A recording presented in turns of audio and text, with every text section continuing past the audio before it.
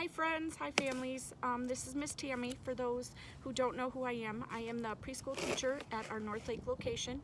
I wanted to hop on and um, tell everybody hi, and I wanted to let everyone know that um, we miss you guys as much as you miss us, and we're just as eager to get back into the classroom as you guys are and see all of your smiley little faces.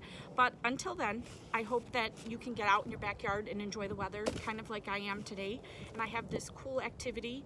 One you can do outside, the other one you can take inside if you need to. And all you need is a little bit of water, like I have here, and then a brush. And then all you're gonna do is use your sidewalk. And guess what? All you have to do is practice making your letters. You can practice your eyes. You can practice your shapes. You can practice your numbers, whatever you want. And guess what? When it dries, you can start all over again.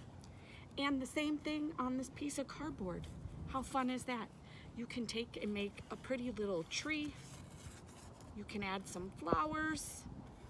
And the best thing that you guys always like is to make the sun. You guys can do that, and when it dries, you can start all over again. How fun is that, right? So I hope you guys enjoy those cute little activities you can take outside or inside.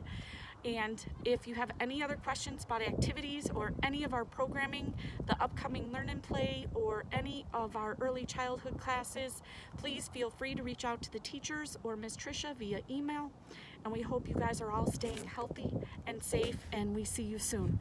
Take care. Bye-bye.